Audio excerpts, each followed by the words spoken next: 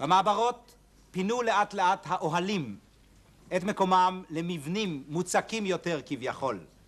פחונים, בלוקונים, אסבסטונים, הדרך לשיכונים לכולם הייתה עדיין ארוכה. לא אומנים רבים באו לבקר במעברות. בין המבקרים הבודדים היה דווקא אומן יהודי אמריקאי, הזמר והקומיקאי אדי קנטור, שבא לבקר יום אחד במעברת ראש העין, חזר לארצות הברית וגייס אחר כך כספים ושמיכות לילדי המעברות. אבל היה אומן ישראלי אחד שהרבה לבקר במעברות. מלחין צעיר, בן פתח תקווה, עמנואל זמיר שמו.